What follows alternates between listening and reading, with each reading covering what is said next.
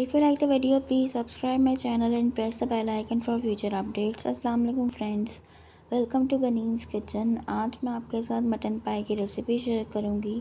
तो चलें अपने रेसिपी की तरफ़ चलते हैं। पहले मैं आपको इसके इंग्रेडिएंट्स बता देती हूँ। पाया आपको चाहिए आठ oil half cup salt to taste ginger garlic paste three tablespoon onions 3 medium size. Haldi, half teaspoon. Red chili powder 1 teaspoon. ज़ीरा one teaspoon coriander powder one teaspoon लौंग आप ले लीजिए एक. दालचीनी, एक इंच का टुकड़ा आपको चाहिए. साबुत, काली मिर्चें, दस चाहिए. दही आपको चाहिए एक कप. पानी आपको चाहिए चार गिलास. पानी का मैं आपको बता दूँगी कि आपने किस तरह से इसके अंदर ऐड करना है। तो चलें, इसको बनाते हैं। पहले आपने दो गिलास पानी में प्याज डालना है और साबुत काली मिर्चें डाल देनी है।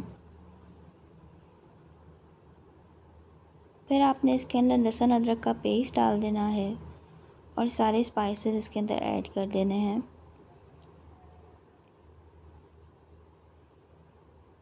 अब आपने इसके अंदर पाए डाल देने हैं।